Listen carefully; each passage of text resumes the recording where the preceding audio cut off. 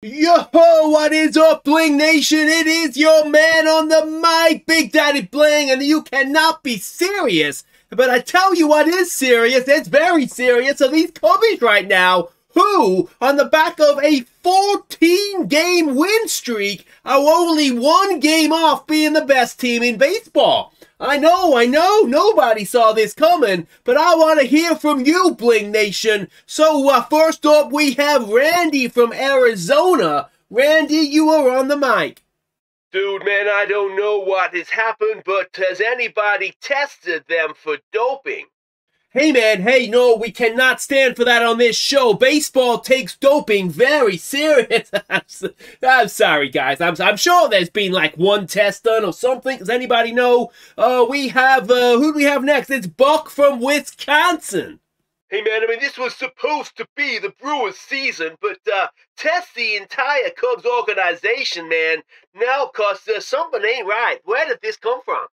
Now, now, Bling Nation, everybody just take a chill pill or something. We cannot be throwing around these sorts of accusations. Uh, we have Brad from Boston. Over to you, man. I just want to say sweep, sweep, sweep, motherfuckers, and also add the Yankees suck. Go Cubs, go! Go Cubs, go! Hey Chicago, what do you say? The Cubs are gonna win today. Hey guys, I'm Aussie Villain and welcome back to the Chicago Cubs. It is season 9, episode 6 today. We are at Milwaukee facing the Brewers and something wonderful is going on. We have just been destroying everything in front of us except for yesterday's game when we lost 13-1, but that's beside the point. Uh, we are now top of the division. Not only have we uh, run down the Brewers, we have overtaken them as well. We have guaranteed ourselves at least a wild card spot and we are one game away from the best teams in baseball who have won 90 games. We have won 89 now. It's it's just been absolutely insane. Uh, so let's start by I'm trying to see what the best thing to do here is. Let's catch you up on how we've been getting on.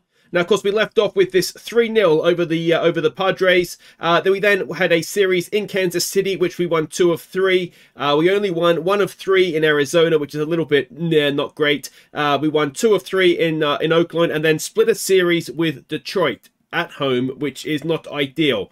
Then things just absolutely took off for us. We won two of three against the Giants. Uh, again, absolutely wonderful stuff. But just look at December. We did lose two of three in Pittsburgh, which is uh, not ideal. We lost the first game here against Atlanta in extra inning, and then we did not lose again for about like three weeks.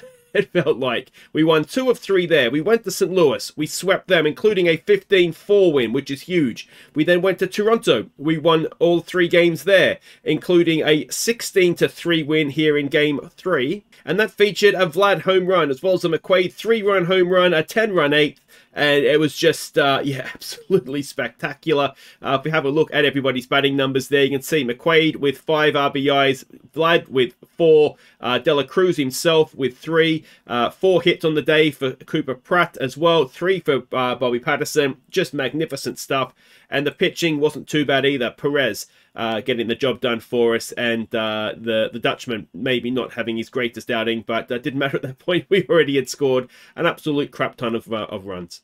We then hosted Miami, which is when we were going to come back initially, but uh, the Brewers series was already shaping up at this point as a big one. We swept a four-game series against them. Now in game two here, the 14 to 5 win. This featured a grand slam from Bracefield, his second grand slam of the season, and he's quietly having a magnificent rookie season. Uh, we can see him here. He's designated hitting at this point in the season 20 home runs, uh, averaging just over 250, but uh, 58 RBIs, and he's not an everyday player, or certainly hasn't been throughout most of the season. Uh, but McQuaid again got uh, got three hits, four RBIs in this one. Vlad with uh, with three RBIs, as with same with Dela Cruz. You'll notice we've been shifting around the order a little bit, just trying to fit all the, all the bats in. To be honest, is, is my main concern here.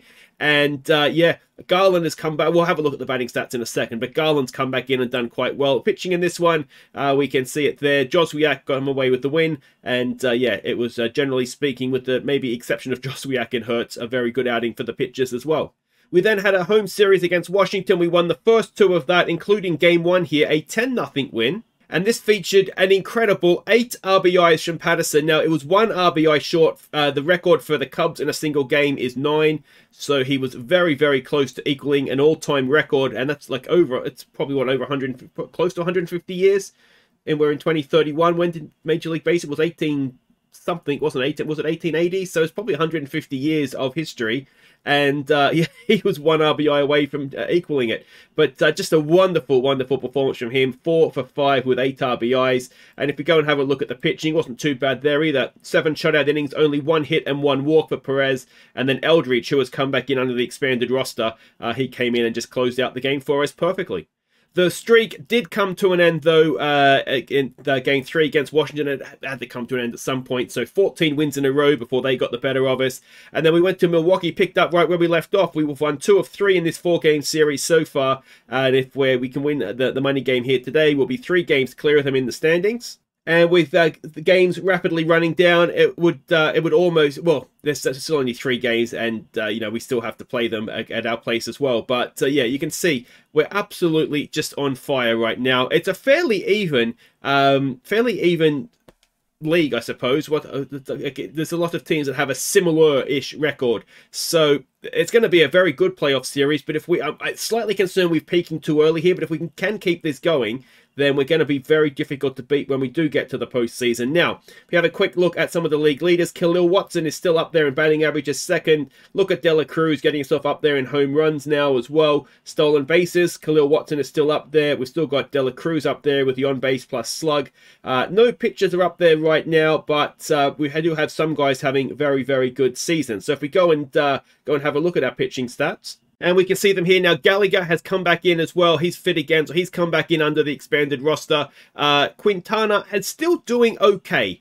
Um, he's he's he's four and three as a record, an ERA of 420 now. So you know, for coming in when he has first season up, I'm fairly pleased with how he has done. And uh, yeah, no one has been particularly disappointing. Even the guys that have the bad ERAs, McLean is maybe a slight exception. But you know, Murillo and uh, and Montano are bringing those ERAs back down to where they were from the start of the year. So overall, it's difficult to be upset with uh, with too much here. And if we go and have a look at the hitters, and again, everybody is just getting the job done. Now, there's one new name here from previously, and that is Luca Reyes. He has come up from uh, from AAA again, just with the expanded roster. Not sure what we're going to do with him. I'll show you him in just a second. It was more a case of me wanting to have a look at him in Major League Baseball before we make an ultimate decision about what we want to do with him. Uh, the issue he has, and it's not his fault, but he's another left-handed hitter, so I suspect uh, we'll probably look to trade him at the end of the at the end of the season because he's not doing spectacularly, and I really need him to come up and uh, and basically do like uh, Bobby Patterson has done in the past and a couple of others where they've uh, they've just looked spectacular. I think Cooper Pratt did the same thing, didn't he? And uh, and they sort of forced themselves into my plans. He's not done that. And unfortunately for him, as I say, we have a lot of players who can do similar things. But Garland has come back up and look at his batting average improvement. He is doing now what I thought he would do uh, at the start of the year. And just everybody, generally speaking, is sort of just improving to, to, to the mean, you know, where we expected them to be. So very, very pleased with it. The only disappointment, actually, I would probably say is uh, De Leon. But he's a defensive gem in centre field, so that's fine. He just needs to not make me angry and he'll be uh, he'll be absolutely fine uh, so that is that now one thing i did want uh, i'm not sure about so i wanted to ask you guys because uh, you will know because you always do uh, before we get to that, this is uh, Luca Reyes here. You may remember we we traded Detroit for him. He's he's not bad. He does have power and he has hit a lot of home runs in AAA. But yeah, like I say, he's not necessarily come up and done a great job so far for us. And he's not defensively, he's not going to he's not going to make it as a defensive player. So yeah, we'll, we'll give him to the end of the season, but I don't think he's going to be sticking around. Now, the question I had for you. Now, it involves Sandy Alcantara. Now, his season is over. He's got an injury, another eight weeks. Obviously, we're at the end of September. He's not coming back this year. But his contract with us, now it has a vesting option uh, for next season. Uh, six-year vesting option requiring 180 pit innings pitch. Now, he's not going to get that number. Obviously, he's, he's, he's below that now, and he's not going to get there. So my question is, so a vesting option. He hasn't got that. Does that mean that that's it? The contract is is is done essentially, or is there? Of course, it is an option. Do we have the option to to keep him, or does he have the option to stay? because um, I'd really like to get rid of that 17.6 million if I could, because I think we could probably get him back from free agency if we did want to do that for less. So, yeah, I'm just curious if you guys can tell me what the answer is to that because I, I genuinely don't know. Uh, and the contract options, American sport contracts, as you know, if you've watched this channel for any period of time, they just confuse me. So, uh, yeah, that's uh, that just help, help, help, help. Uh, what's happening with Alcantara next year? All right, let's check these lineups for our game against Milwaukee. All right, so Khalil Watson will lead us off at second base. Garland bats second at third. Patterson in right field bats three. Then we've got Vlad cleaning up at first base. Bracefield DHing at five. De Leon at six in center field. Namala short stopping at seven. Uh, Luca Reyes, we'll get a first hand look at him today. Uh, he bats eight in left field. Langers is going to catch at nine. And then Christian Scott is on the mound for us. He is having a wonderful season 13 and 5 record, ERA of 280, whip of 116. We're up against Sam Middleton for them. He has an ERA, sorry, he has a record of 11 and 7, an ERA of 338, and a whip of 127. So there's not too much between these guys in terms of the stats. The matchups look quite even as well. Now, I think what is an interesting difference here, we have a, a maybe not our strongest team. We're missing Dela Cruz, we're missing McQuaid, um, amongst others. But the reason that they're missing is because they're tired and we're resting them. They have a couple of their big guys, it looks like, that are tired and they're not resting them. So, be very interesting to see if we can win this game without having a couple of our big players and resting them. Then that could be uh, that could be huge, couldn't it? So, welcome to Milwaukee, the American Family Park. I'm not sure what it's called, uh, to be honest. Anyway, we've got a full count to start things off against Watson.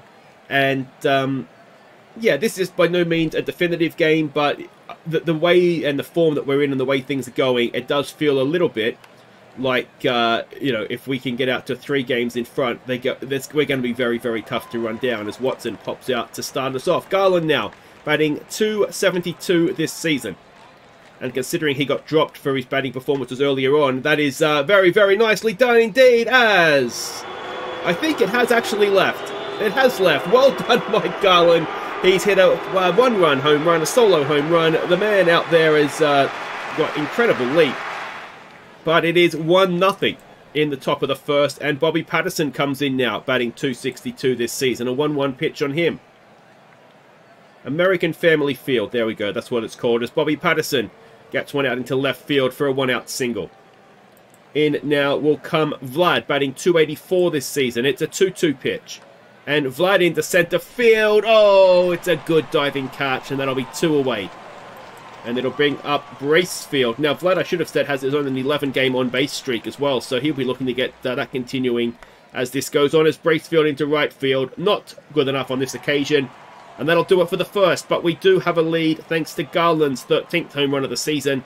And it'll be Christian Scott now to face Lawler, who is batting 2 something. I forget what it said there now. Might say it at the top here. Uh, now, Christian Scott is on 49 career wins, so looking for number 50 today, and Garland has given him a chance to do that. So let's hope we can uh, we can keep that going as uh, as Garland then makes the play at first. Garcia comes in now for them. It's an 0-2 pitch.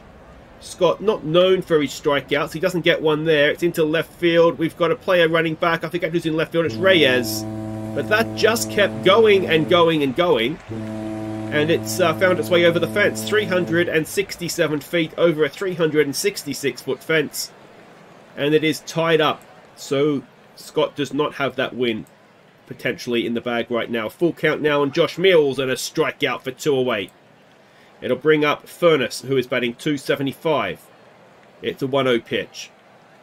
And it is a ground ball. We have it with Cooper Pratt over to first. No, it's Watson over to first. And that is uh, that is the end of the inning. Yeah, I, I am going to mess up the fielding a little bit for this one just because we do have uh, so many players, sort of uh, bench players in and uh, shifted around a bit. As De Leon grounds it out there to first, 4-1 away, bringing up Nimmala. Let's see what he can do. Back in for this one, batting 241. He's been a little bit off with his bat this season. I'd expect him to be sort of somewhere about 250, 260 hitter at, at a minimum. And he's just a little ways below that right now at 240. So we'll see what happens if he can pick things up. As Reyes comes in now. And he grounds it to the shortstop. And the shortstop doesn't have a play. And Luca Reyes gets himself a two-out single for Langers, who's batting 209. It's an 0-1 pitch. Langers has got one into left field, but doesn't quite have the uh, the giddy up that the, the Milwaukee hit had, and that will stay in the park, be caught, and end the top of the second, Scott will face Chourio now, who is batting 316 this season. It's a 1 1 pitch. It's a ground ball. Namala's there over the first, one away. In now comes Guzman, who's batting 267. It's a 1 2 pitch. And it is in to centre field, and it'll be caught by DeLeon. So that is two away for Spencer Jones, batting 262. Spencer Jones sounds like a uh, someone was in like Dick Tracy or something back in the day. it's a very uh, uh, like I hunt gangsters policeman sort of name, isn't it? Uh, all right, Watson back up. 0 for 1 today, a 1-2 pitch. And that is into centre field. It looks like it's going to drop in for us. And Khalil Watson has a lead-off single. Now, he is one of the top stealers in the division. Let's see if he can get another one. Garland, who of course hit the home run last time up. There goes Watson, not even close. And just like that, two out, none on. And Bobby Patterson to the plate, who is one for one. It's a 2-1 pitch. Patterson, oh, that is very good off the bat. It's going to leave us, and Bobby Patterson has restored our lead in the top of the third with a solo home run. His 14th of the season, 396 feet. And that was very, very nice indeed. It'll bring up Vlad now. 0 for 1 today. It's a first pitch swing. Vlad into left field, and that will be caught, and that will end at the top of the third, but we're back in front. And we'll have Christian Scott going back to the mound. It's Kyle Teel at the plate. He is batting 269 this season. A 1-2 pitch. A ground ball to Garland. And Judy makes the play at first. One oh away. In comes Josh Jung. Batting 216. It is a 2-1 pitch. And that is into right centre field. That will probably find the fence. De Leon is there. But it's going to be at least a double. So a one-out double. Runner at second with one oh away and Lawler up to the plate. He is 0 for 1 today. It's a full count. And that is into left field and is not going to be able to stop, I don't think, the runner from scoring. And just like that, the lead is gone again. So an RBI single from Lawler. 2-2 runner at first, one away for Garcia, who is 1 for 1. Absolutely cracked the home run last time up. Langers cannot stop the runner from stealing. And they have a runner in scoring position again. And uh, never mind, that is going to be 4-2. Absolutely. Wow, that it was hit, wasn't it? That was not coming back. His second home run of the game. at 453 feet and counting. That is the biggest hit we've seen this season for sure. And it is now 4-2. Josh Mills comes in now 0 for 1. It's a 1-2 pitch. It's a strikeout. And uh, this would go down as one of Christian Scott's worst outings of the season, I think. An 0-2 pitch now on Furness. That's into right field. Patterson can only field it on the bounce. So that is uh, one, uh, one on that first and two out for Chourio, who is 0 for 1. It's a 1-2 pitch. And Scott gets the strikeout to end the inning, but a disastrous third, really. We give up three. We're 4-2 down. And Bracefield will lead us off 0 for 1 today. A 1-2 pitch and a strikeout to start off the inning. In comes De Leon now, who's 0 for 1. He has picked up his uh, his form. He was in a slump, I think, last time I saw you, as that might be an infield hit for De Leon. It is. And he's another one of these guys, a very, very good base runner. Can he get a steal here, I wonder? Namala now 0 for 1. First pitch swing. And that is a double play ball. Oh, luckily, Namala's a decent runner himself. So just the man at second. He's injured and he'll be okay with the Leon. So Reyes now comes in, one for one today. First pitch. There goes Namala. Namala on an 11 base stolen, uh, 12 base uh, stolen base streak. Now he's on a 13 stolen base streak, and Reyes has a chance to cut the lead back to one. A 1-1 pitch, and Reyes has popped it up, and that will do it for the fourth. We are still 4-2 down. And Johnson, uh, Johnson, where'd I get that from? Scott will face Guzman. It's a 3-2 pitch, and it is... I mean, I'll take a strikeout. That looked high. And it was indeed. It looked... Uh, maybe just caught it. I'd be annoyed if I was the hitter and got given out on that one. A 1-1 to Spencer Jones. That's into right field. Bobby Patterson is there for two away. And it'll bring up Kyle Teel, who is 0 for 1. Another 1-1 pitch. And that is into centre field. De Leon's going back. De Leon is not able to make a play. It's off the very top of the wall. And it'll be a two-out double. And can we get out of this without giving up any other runs? It is Josh Jung who is one for one. A 2-2 pitch. And Christian Scott ends it with a strikeout. And we will go to the fifth 4-2 down. In comes Langers now to lead us off. 0 for 1 today. Oh, 0-1 pitch. And Langers ground ball to third, one away. So back we go to the top. It's Watson who is one for two. A 2-2 pitch.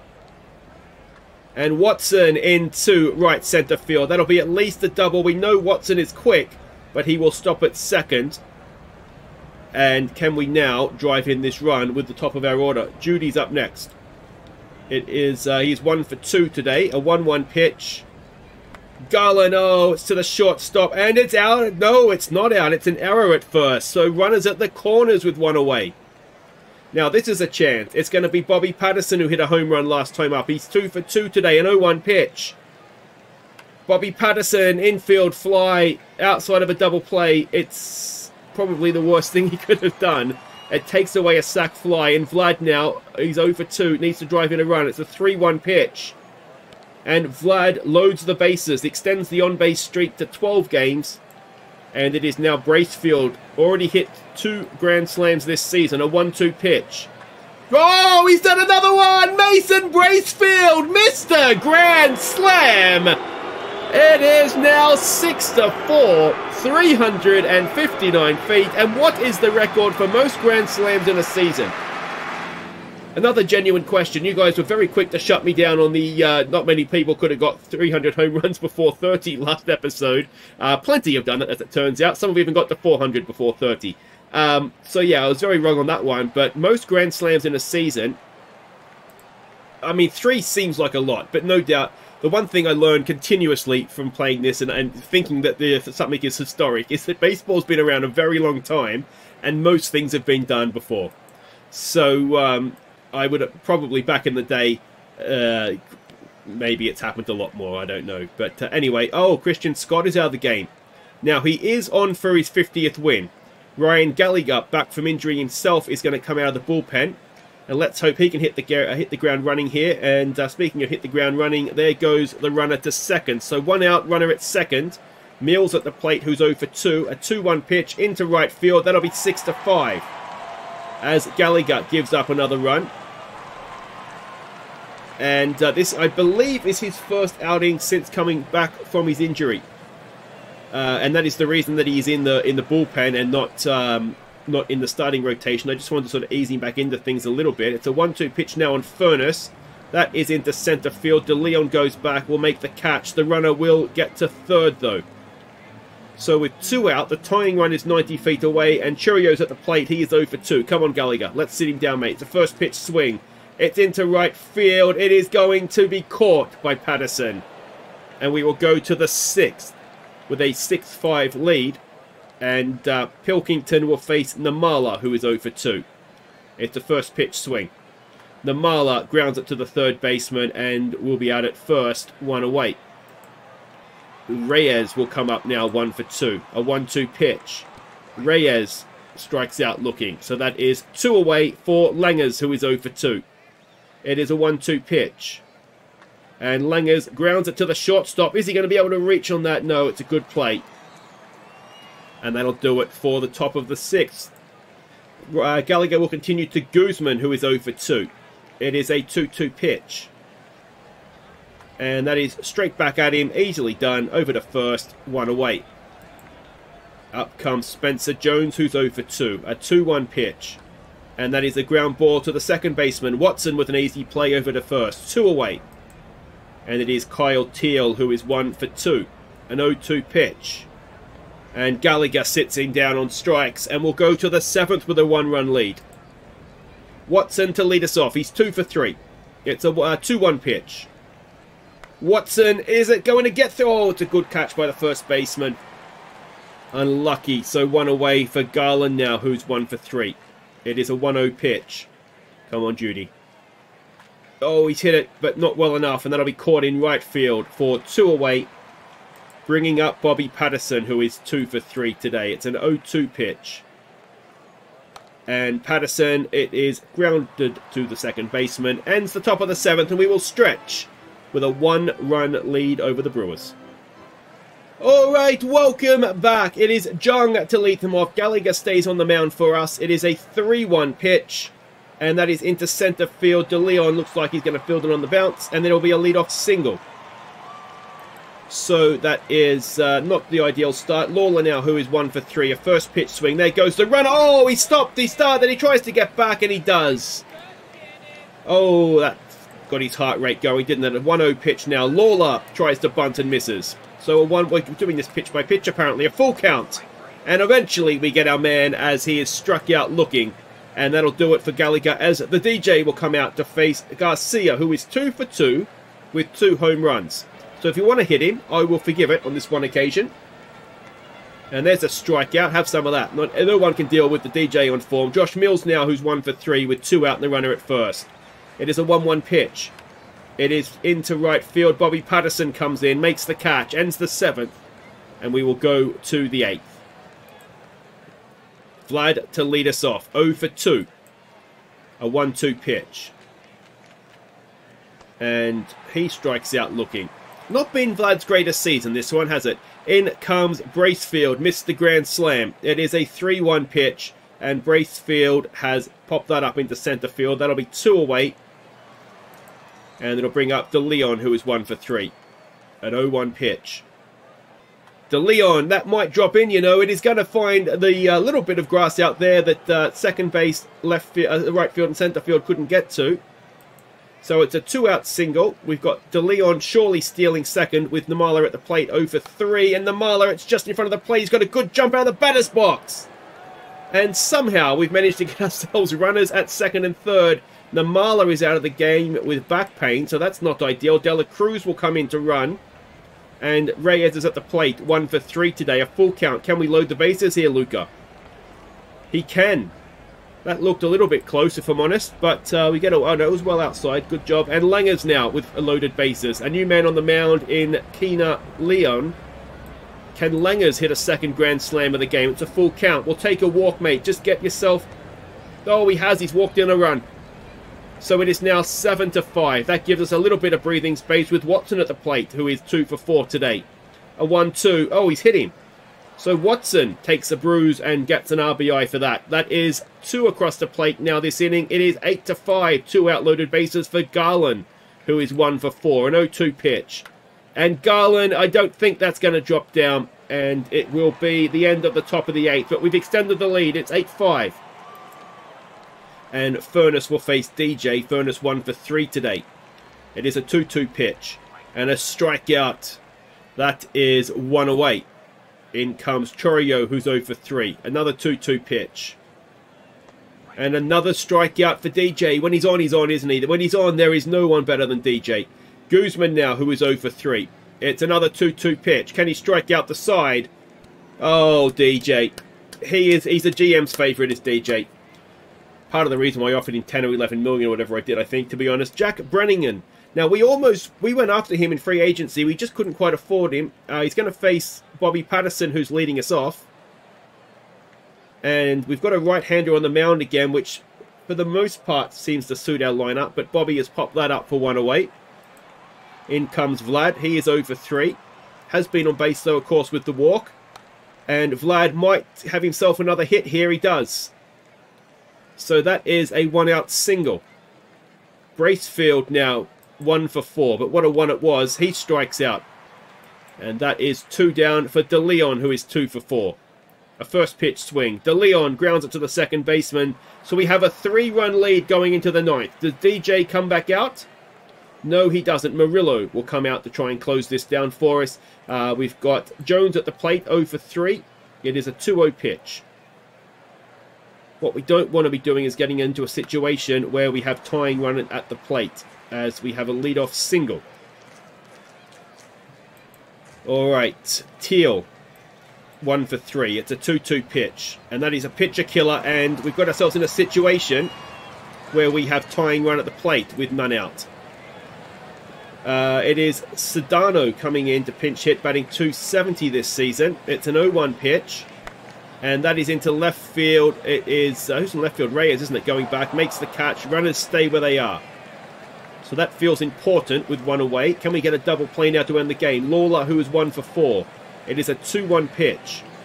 It is, oh, it's very deep into left field, and it is a game-tying three-run home run in the bottom of the ninth. Murillo, again, we just can't find a reliable closer this season. There goes Scott's first uh, 50th win, I should say. That's uh, been blown as well. And we're not out of this one yet because uh, Garcia already has three home runs today. A 2-2 pitch and another pitcher killer. Thankfully, we had a bit of a shift on there and we get the out at first. So two down for Mills now, who's one for four. It's a 1-1 pitch.